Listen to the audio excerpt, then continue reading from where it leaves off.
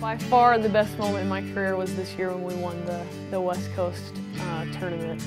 It was such a fun day um, to, to just think back about over the years of, what this team and what this group of girls has been through.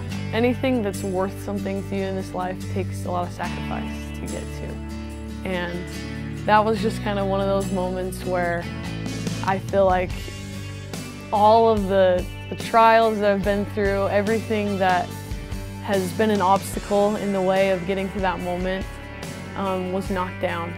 And when I came off the court, just knowing that we were champions just meant so much to me.